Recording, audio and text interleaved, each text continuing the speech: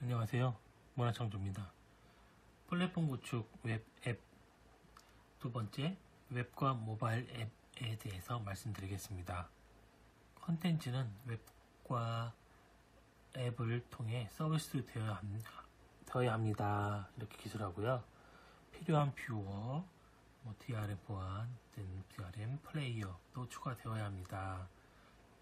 그래서 웹과 모바일 앱을 구분으로 이렇게 하고 거기에 대한 뷰어 플레이어 DRM 관련돼서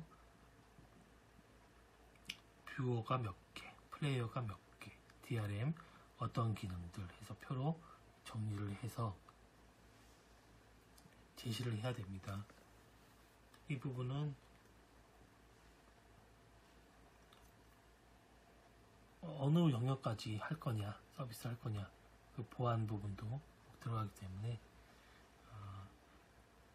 잘 기술해서 표로 정리해서 기술합니다.